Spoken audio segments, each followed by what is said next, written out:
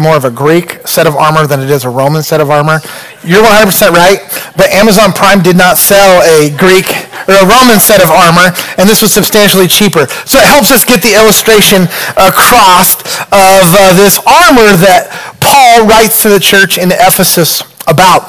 Uh, if you have your Bibles through Ephesians chapter 6, we're going to read that in just a moment. But I want to take a moment here before we dive into the scriptures to just celebrate all the good things that God is doing in our church. Been a, been a whirlwind of the last couple of weeks. As, uh, as Courtney mentioned, we had a team of eight, eight of us from the church down in the Dominican Republic, a great trip. Uh, thank you for your giving.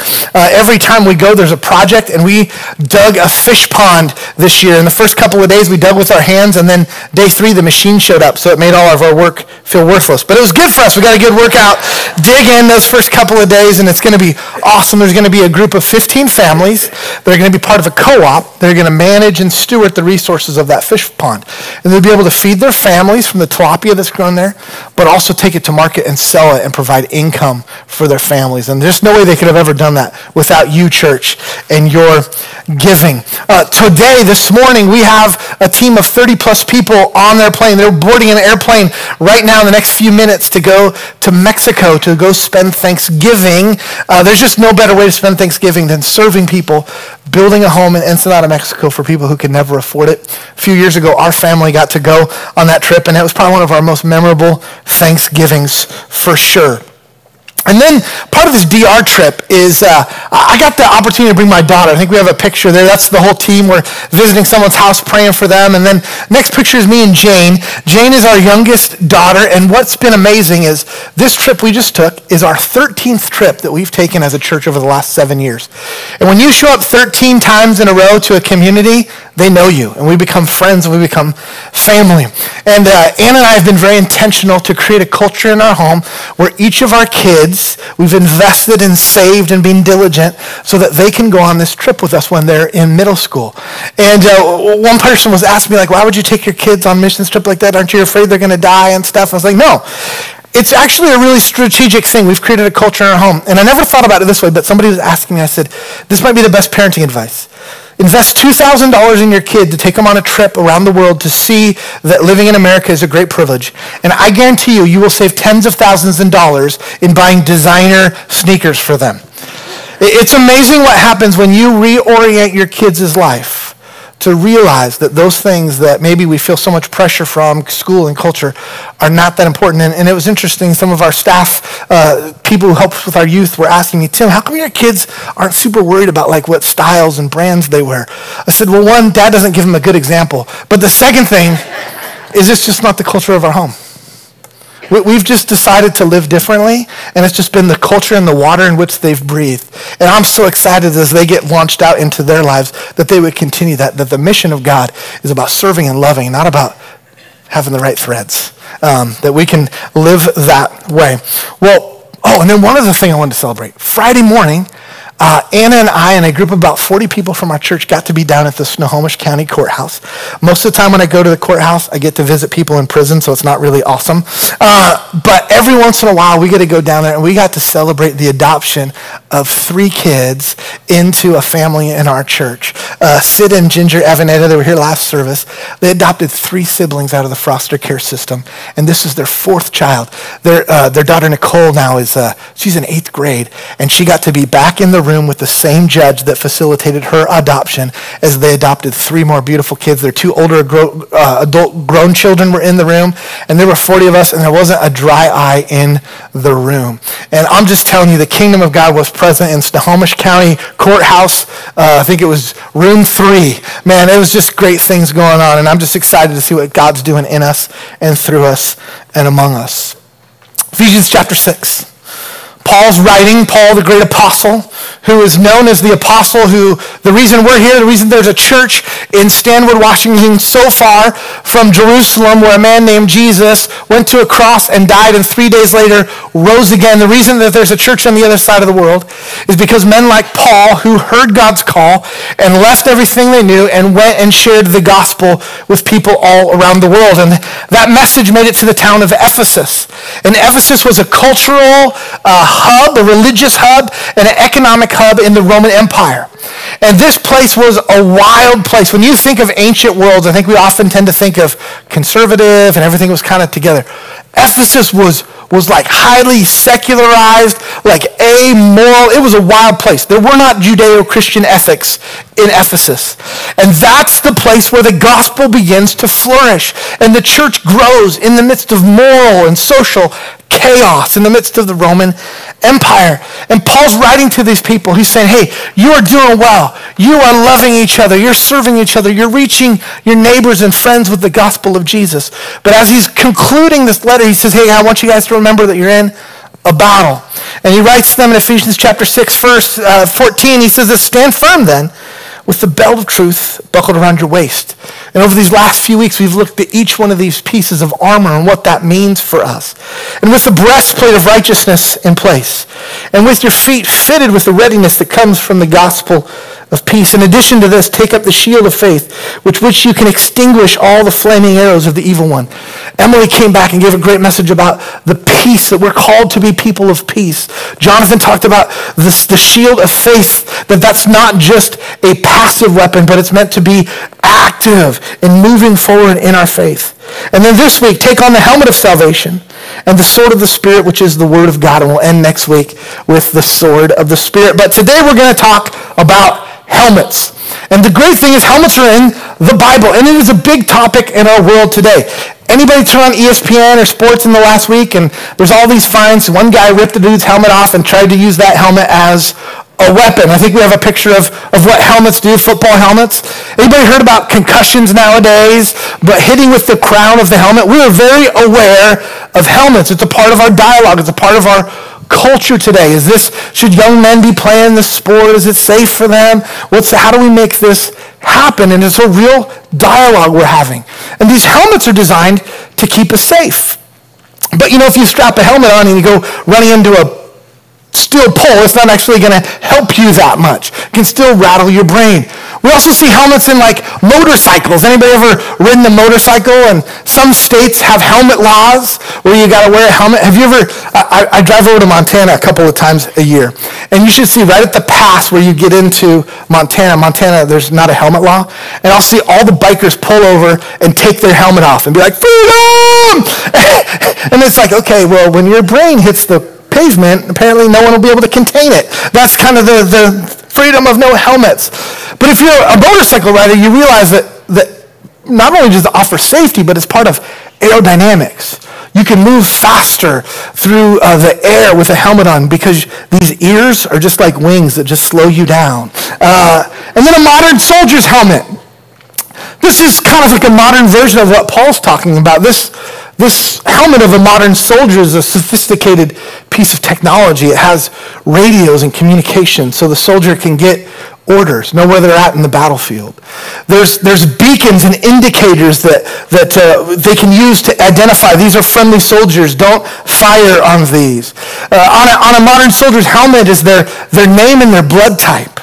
So if they're ever wounded on the battlefield, they can quickly provide medical attention to help them. There's a, there's a mount on the front that you can put night vision and, and all these amazing accessories which help the soldier be efficient and effective in the task in which they have. And then there's a protective element.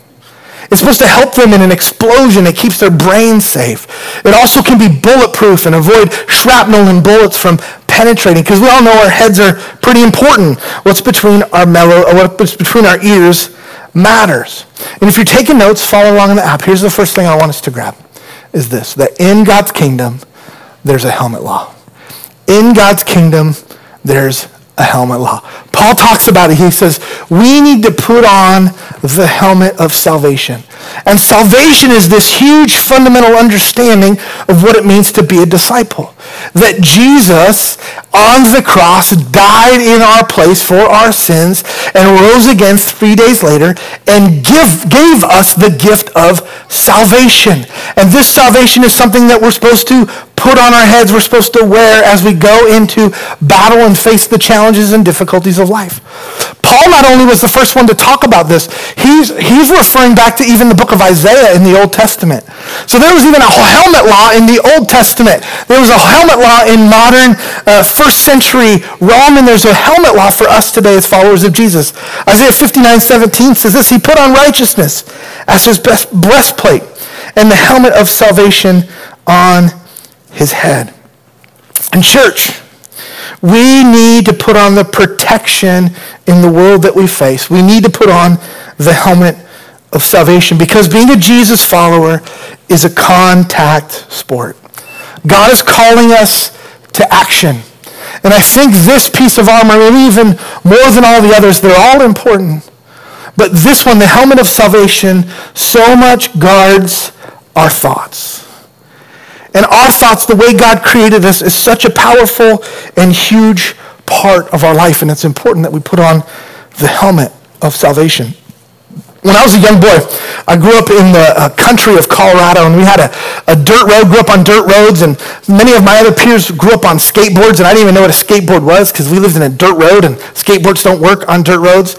But we had BMX bikes. Anybody else have a BMX bike? And do you remember, man, you'd build these jumps. And you thought that at least you were getting 35 feet of air, and it maybe been 35 inches. But man, there's just something about, remember being a kid on your bike and you're jumping through the air and you're thinking like, I am uh, Evel Knievel right now in this body, jumping over 35 matchbox trucks, right? Whatever it would be. We had this hill in front of our house, was this dirt road. And it felt like this massive hill. We'd ride up it, step, you know, one-geared bikes, climb as hard as we could, and we get to the top. And we'd play the Rome, uh, Rambo, or not Rambo, but the Rocky song in my brain. Eye of the Tiger, be singing it, and start heading down this road as fast as I could. And we had built a, on the ditch, we had dug it out, and then we built this jump, cruised down, and boom, and hit it, and feel like we're flying through the air. I'm invincible! So great, so amazing. A couple years ago, I took Anna and I drove by the home I grew up in, and she's like, this is the hill you tell me all those stories about? It's like it, it, felt so big as a kid, and it's like a little rise. But uh, but we tend to make things these really big. And you know the crazy part? I did all those jumps, and and well, boy, I thought I was living on the edge. And you guess guess what? I, I never wore a helmet. It wasn't even a thing. It wasn't part of the culture. It wasn't part of the world I lived in. You, you know, even when I was born, my mom told me that she brought me home in a, uh, from the hospital in a laundry basket between her feet. There weren't even car seats. And I'm not that old. Like our, our culture has changed so much about safety and importance. And, and I, I grew up riding my bike and didn't ever wear a helmet. But in college, I really got into mountain biking. I had some friends who were mountain bikers and I saved up my money and bought my first mountain bike. And what you do when you mountain bike is you put on a helmet. It was just part of the culture. It was what we were supposed to do. So I bought a mountain bike and like, well, you need a helmet too. And I'm like, okay. I didn't even care how dorky it made me look or anything like that. And I just strapped on the helmet because everybody else was doing it and it was what you did. And we began to ride and over a couple of months I began to get better and more technical and some of these riders were, that I was riding with were pushing me and and a few months later, I'm riding on an old logging road, which were my favorite roads to ride. We climb up, do a hard climb, and then you get to the top and you just get a, go as fast as you can down these old logging roads that are closed down. And when they close down logging roads, they'll, they'll dig out the culverts so they can use them somewhere else and it makes sure that it doesn't road, erode away. And what's so fun is you'll, you'll come flying down super fast, and then you have the dig out where they dug out the old culverts. And it's woo, you get some air and you jump and sure enough, I'm heading down this mountain faster than probably my skill lever could handle. And, and I'm a, I've got a little bit more momentum behind me than I did when I was a kid. And I'm flying probably 35, 40 miles an hour down this road. And I hit one of these dugouts. And somehow in the middle of the air, me and my bike chose to go in different directions. And I'm flying through the air. Have you ever been like running? It feels like a split second, but in the air it feels like this is 37 minutes. I'm Superman, right? You're just flying through the air. And next thing I know, I boom, I crash. And I hit the ground and I'm a little shaken, but I realize, okay, I'm okay. And I, and I get up and I feel that my, my helmet's a little messed up and I had split my bike helmet right in half. I was really grateful for that helmet that day. I probably wouldn't be standing here today without it. But what did I do? I took that helmet and kind of still put it on and rode the rest of the way down. And I went to the bike store and I said, oh, dude, I broke my bike helmet. I need a new one. and gave them 40 bucks and they gave him a new one. And you know what I did? That next weekend, I went and rode. And over my mountain bike days, I broke three helmets. And every time, be like, oh, glad I had it. And I'd go buy a new one. And in the Christian life, what Jesus is calling, to, calling us to is he's calling us to be people who put on the helmet of salvation. And the helmet is designed to protect us. The helmet is designed to take the blow in our place. And many of us, I think if we really look at our lives, we would think about the things we once did when we were young and, and had all kinds of faith. And we would like, oh, I'm going to go trust the Lord. And we'd hit and crash, and life wouldn't go the way we thought it was going to be.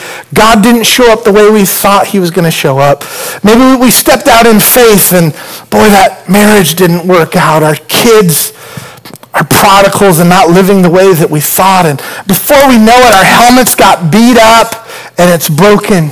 And versus just strapping on a new one, we go and we put it on the shelf and be like, I got to play it safe now. I got to play it safe because if I keep breaking these helmets, eventually something really bad's going to happen to me. But this same church, the church in Ephesus, probably 30 years later, after Paul's writing, John writes in the book of Revelation as Jesus is speaking in Revelation chapter 2 to the church in Ephesus. He says, Guys, you're good. You've had good theology. You've held on to good teaching. But he says this to the same church. He says, Yet I hold this against you, Revelation 4 2. Yet I hold this against you. You have forsaken the love you had at first. Consider how far you have fallen.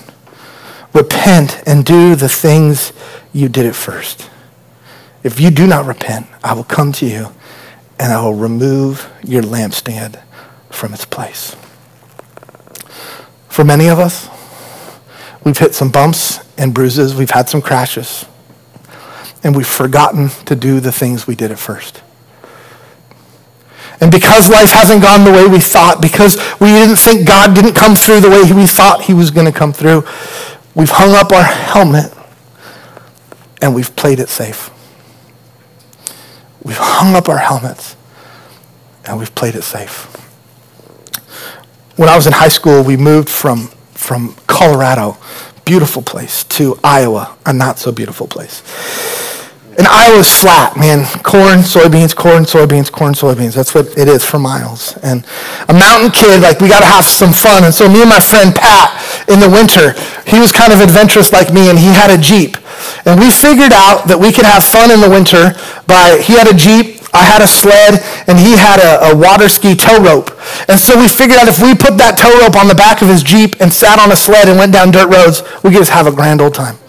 So the first time we did it, we, I was sitting out on the sled holding onto this thing. And I'm like, go, Pat, make it happen. And you, you hit about 25 miles an hour and the snow would be flying in your face. You're like, slow down, I can't see anything. And we had a grand old time. Never did we think like if the Jeep stopped, the sled wouldn't stop. We didn't have those thoughts, right? Don't do this, kids. This is not an example. This is an example of not to do. But the next time we went out, we were in Pat's garage before we were heading out. And Pat's dad rode motorcycles.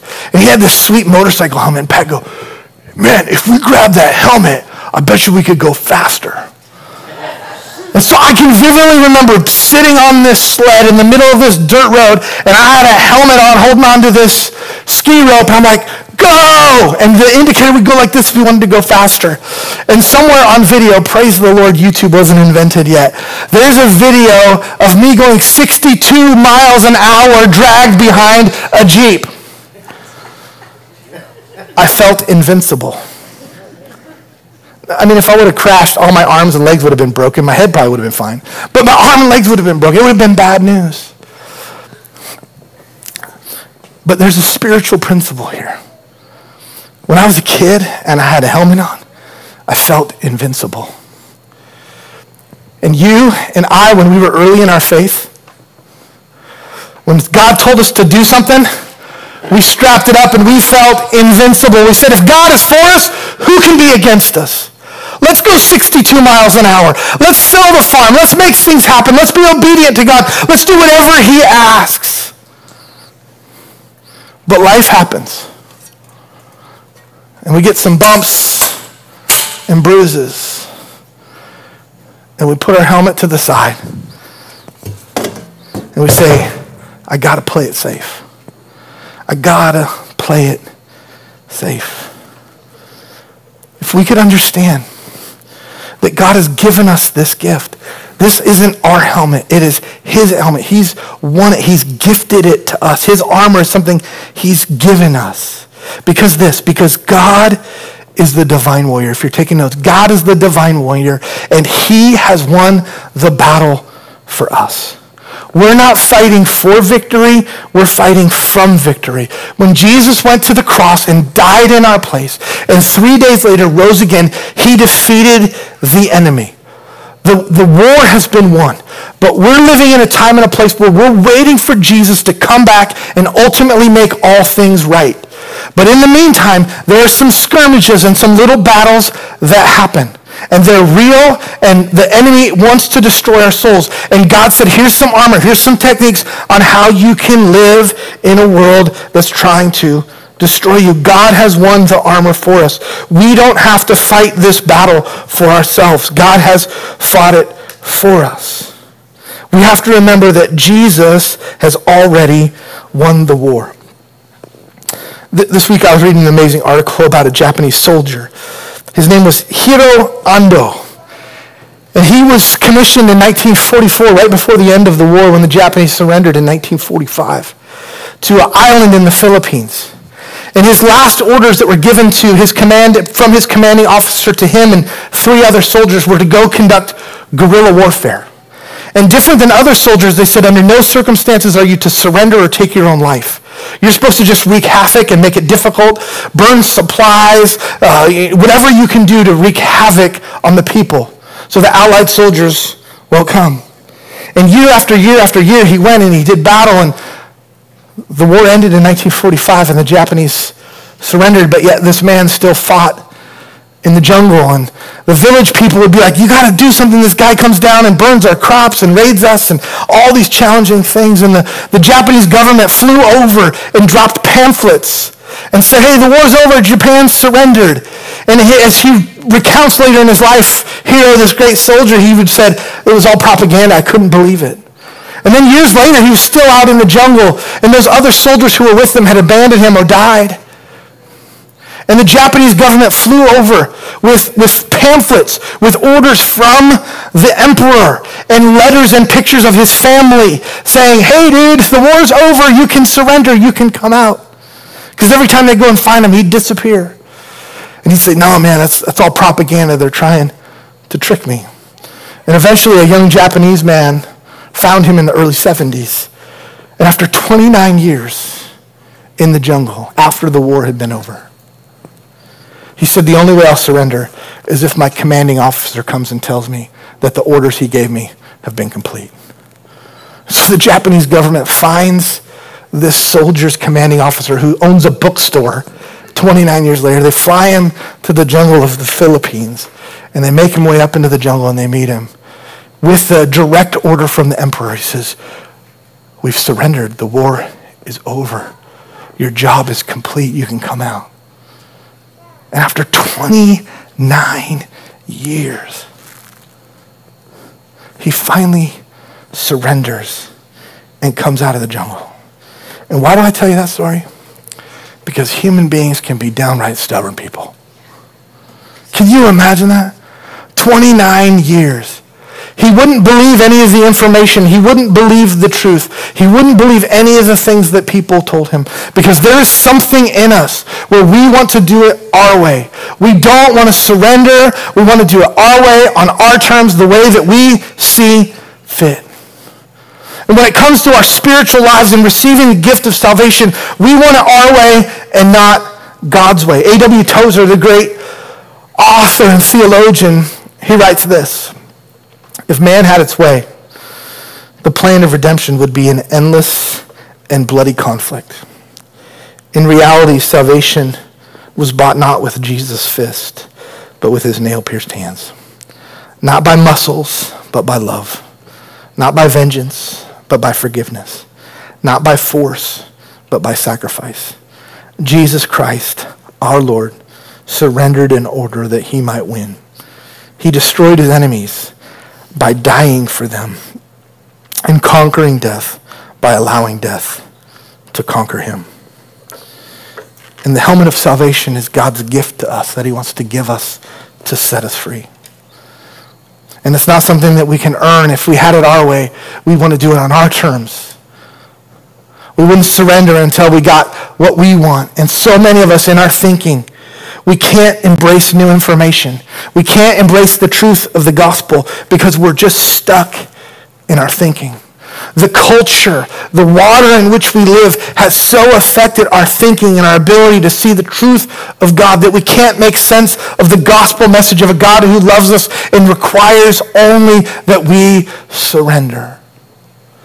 And so many of us, we've allowed the enemy to get into our head.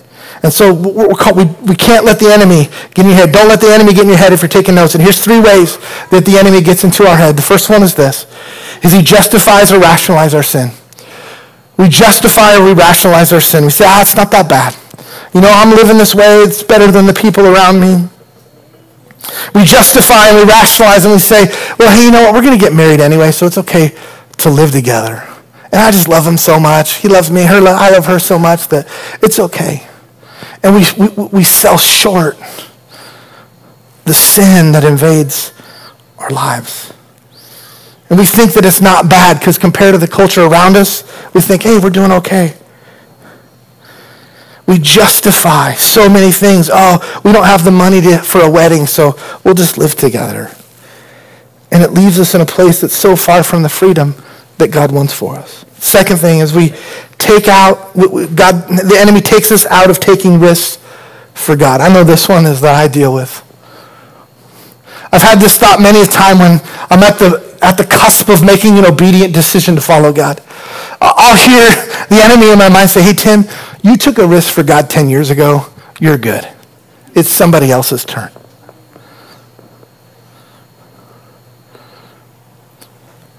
Tim, you know what, you have too much to risk now. This is when I deal with as I've grown and matured, and I like have a retirement account, and I've got kids I got to take care of. And think, Tim, you, you, you, can't, you can't be risky like that because you have too much to risk. You can't be obedient. The consequences are too high. And it sells short the obedience in which God has called me to live. And it's me not putting on my helmet of salvation, thinking, remembering that I'm invincible because God is for me who can be against me? And the third one where, where the enemy can get into our heads is this, is friendly fire. Christians are really bad at this. Sometimes we eat our own. Christians are imperfect people and we can hurt each other. Sometimes our expectations, we think like, oh, they're a Christian. That means that they should be good. No, they're a sinner like everybody else. And so part of it, you have to kind of manage your expectations and realize that we're all sinner, broken people. We're trying to pursue and find and be like Jesus, but we're imperfect and we don't have it all figured out. And I think some of us, we find ourselves just like this. Can we show that, that, that uh, video of Joey? This is a, a viral video that uh, went, went really viral last year, and it's of Joey getting his head stuck. And what a wonderful mom sees his son stuck in the banister and says, oh, I need to get my camera and take video of this versus help him out. And Joey's sitting there and saying, I'm stuck. I can't get out. The kid remains amazingly calm. It's like four minutes long. And then dad shows up and says, all right, let's just try to brute force this thing out. And the kid's like, my ears, my ears, dad, stop, stop. And then the dad says, I guess we'll just have to get some butter. We're going to butter him up and get his heads out. And then, and then you'll see him, he tries brute force in just a moment.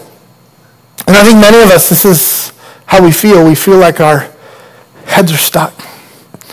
We're stuck in life and we're trying techniques and we're trying anything we can to move forward and to change. The dog's even trying to help there, right? Everybody's like, oh, oh Joey, I'm sorry, you're stuck. And we find ourselves just in this weak and vulnerable position where we're stuck where we're stuck. Our thinking has been tainted. God, when he made us, he made us with these amazing brains. Have you ever had this thought that you can have a thought so deep that it blows your own brain? Whoa! Like what do you do that? God created us with the image of God, the ability to create ideas and dreams and amazing things in between our ears. Our minds are so powerful and amazing that God has created us, but they can also get the best of us. And our minds without the helmet of salvation the enemy can get in our heads and taint our thinking, and we can begin to believe alternate realities, and we can't embrace the truth of Jesus, and we find ourselves merely stuck between the gospel and culture. And Jesus wants to give us another way. And here's what the Gospels, God knew this. And so in the scriptures, he gave us an idea. And here's what it is. It's called renew your mind.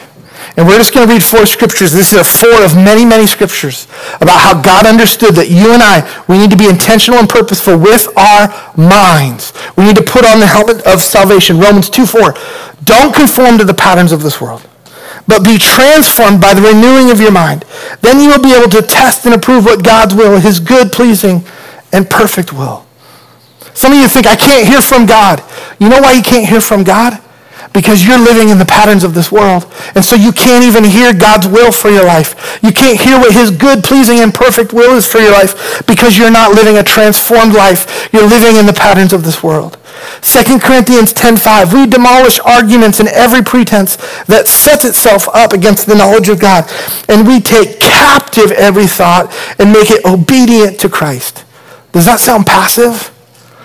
It's active we have the ability to say, man, I'm not going to let my mind run wild. For, for three months this fall, I did an experiment and I didn't watch any news. I didn't open up any news apps on my phone, and life was pretty awesome. And then after three months, I said, okay, I better find out what's going on in the world. And I started scrolling through the news app, and I was like, this is why everybody in our church is freaking out. Everybody's dying. Everybody's trying to kill you. The world's falling apart, and the life is deteriorating around us. And that is in direct opposition to the gospel message of Jesus that says the kingdom of God is moving forward and the gates of hell will not prevail. But I don't know if you believe it. The world and the culture around you has you convinced that you're losing. But God is winning. The kingdom of God is coming in its fullness. And we're part of the winning team. We don't have to fear. We can put on the helmet of salvation and say, I'm invincible. That's what God needs is a group of people, a church, who are not intimidated and scared by the world around us but are motivated by the hope and love of Jesus Christ that dwells within us, that will overcome. Greater is he who is in us than he who is in the world. Philippians 4.8, whatever is noble, whatever is right, whatever is pure, whatever is lovely, whatever is admirable, if anything is excellent or praiseworthy, think about such things. Think that would change your day? Whatever is noble, whatever is right, whatever is pure, whatever is lovely, whatever is admirable, if anything is excellent or praiseworthy, think about such things. Proverbs 23 7. As someone thinks within himself, so he is. We need to renew our minds. And Jesus will set us free. I don't want to leave Joey stuck. Here's the back half of that video with Joey. There's audio on this part. Listen very carefully.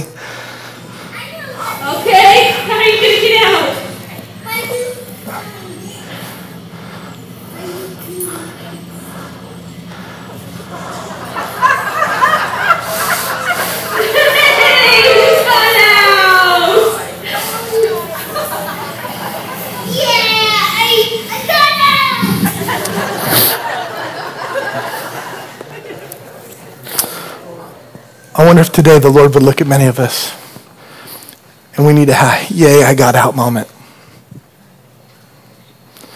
Because you're stuck. You're stuck between your ears.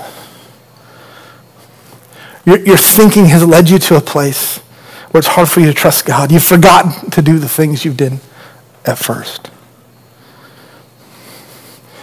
And off that video, mom gave Joey a little coaching after watching it and figuring it out like, oh, this is how we get out of this. And if we just keep trying to do the same thing over and over and over again, we're going to rip our ears off. We're never going to get out. And the good news is God has a plan to get us out of the mess we're in.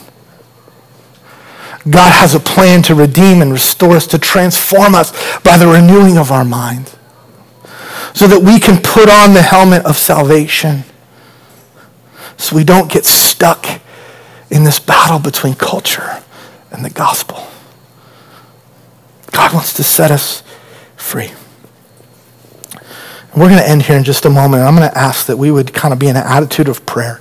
And there's just two things I want us to consider. The first one is this. If you've been a follower of Jesus for any length of time,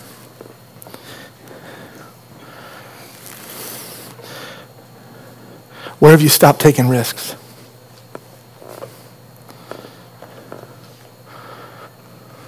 Where, because you got beat up, your helmet protected you a couple of times in the midst of challenging, difficult life things, you chose to hang up your helmet.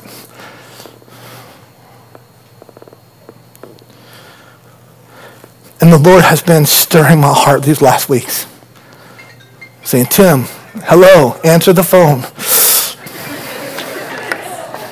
But saying, hey, this, where, where do you got to risk it again, Tim? Where do you got to do the things you did at first? And then secondly, I think we really have to ask ourselves this question. Have we experienced the salvation power of Jesus? For some of us, we've heard a lot about the good news of God. We've heard a lot about the gospel. But we haven't believed it and we haven't come out of the jungle and surrendered. We want it on our terms. We want it in a way that makes sense to us. We want it to be fits in our pretty little box and the gospel is not about you. The gospel is about Jesus and it's about what he's done for you. And so I'm just going to ask that we just kind of be still for a moment before the Lord and let him speak to us.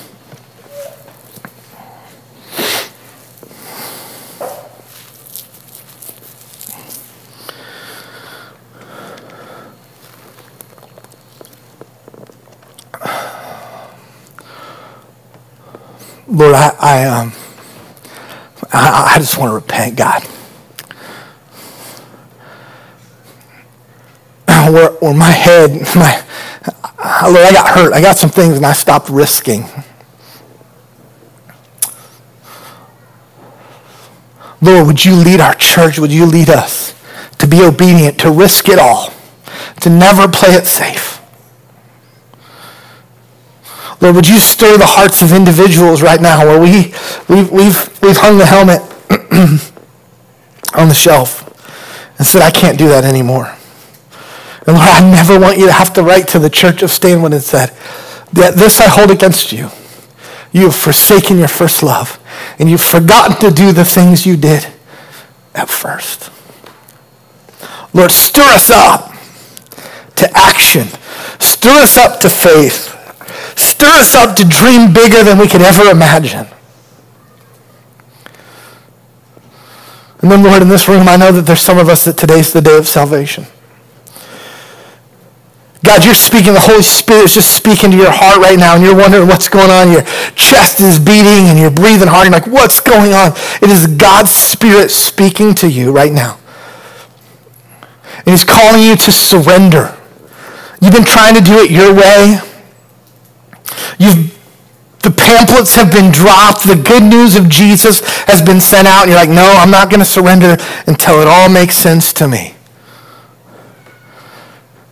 And the God who loves you so dearly is saying, surrender. And he wants to give you a free gift and he wants to set you free. He wants to get you out of that stuck place where you're in and save you from the mess that you find yourself in today. Wants to transform your thinking and transform your life. If that's you today, I just want to be, I want to ask you to be so bold, not to, for me, but to agree with you and to seal what God's doing in your heart. If that's you, you say, man, today's the day of salvation for me. I want to surrender and I want to believe in Jesus. Would you look up at me? Would you wave your hand at me? My right, your left? Anybody? yeah, sir, I think, I see you. Thank you. Yeah, I see you. Thank you, sir. Thanks, God, for what you're doing in the middle section. Yes, ma'am, I see you. Yes, thank you. Thank you, thank you. Yes, I see what God's doing. Yeah, Lord, my right, your left. Lord, we thank you for the eight people who just say yes to you. Lord, would this be a new day of transformation in their life? And Lord, would this be a journey of saying repentance? And Lord, now would they begin to move in a new direction? Would you guard our heads with the helmet of salvation to get our thinking right? In Jesus' name we pray. Amen. Can we applaud those who say yes to Jesus They're Awesome.